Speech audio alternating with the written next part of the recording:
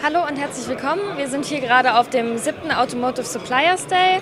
Ähm, ich bin Dina Pirzivol, eine duale Studentin bei der T-Systems und ich gucke mir hier gerade ein Exponat an. Es geht um Blockchain und jetzt wollte ich einfach mal fragen, was ist Blockchain überhaupt? Hallo und herzlich willkommen nochmal. Mein Name ist Attila Misota. Ich bin aus der PU Digital Solution im Bereich Digital Trust zuständig für das Thema IT-Sicherheit, Datenschutz und Blockchain.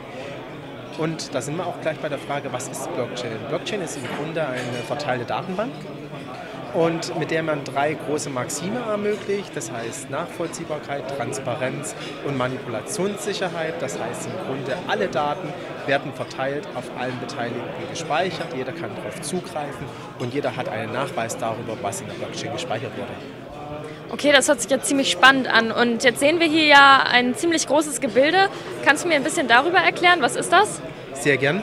Hier haben wir im Endeffekt eine äh, Mini-Produktionsanlage aufgebaut, wo wir einen ähm, Bestellprozess durchführen. Der Bestellprozess wird an die Anlage gesendet. Die Anlage fässt die Informationen auf, arbeitet den Bestellprozess komplett durch und während der einzelnen ähm, Prozessschritte werden alle Informationen in der Blockchain gespeichert.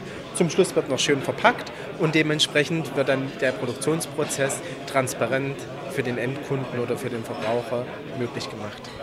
Ja, cool. Also das hört sich ja ziemlich praktisch an. Ähm, warum sollte jetzt ein Kunde beispielsweise ähm, denn die Blockchain-Dienste der T-Systems in Anspruch nehmen? Was macht die T-Systems besonders?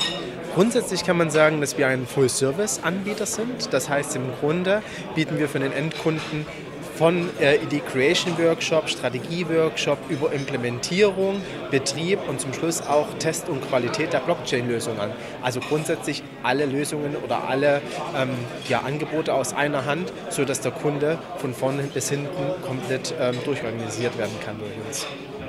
Ah, okay. Ja gut, eine letzte Frage habe ich noch.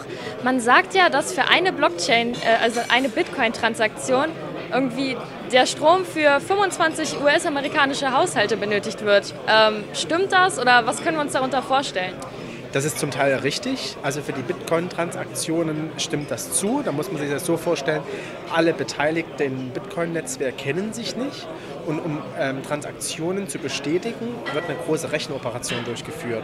Man muss sich so vorstellen, um die Operation durchzuführen oder die Lösung der Rechenoperation zu, äh, zu generieren, werden auf einmal alle PCs angesprochen oder alle Miner angesprochen. Und je, derjenige, der sie zuerst löst, die Aufgabe, bekommt einen Reward dafür.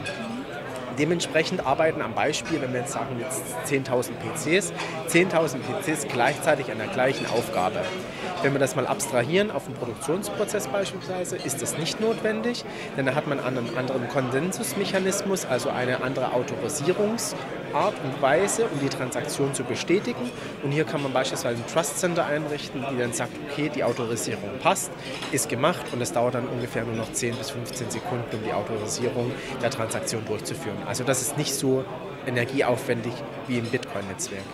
Okay, dann brauchen wir uns ja keine Sorgen machen. Ja, vielen Dank äh, für das kleine Interview. Dann gucken wir uns doch andere Stände noch an.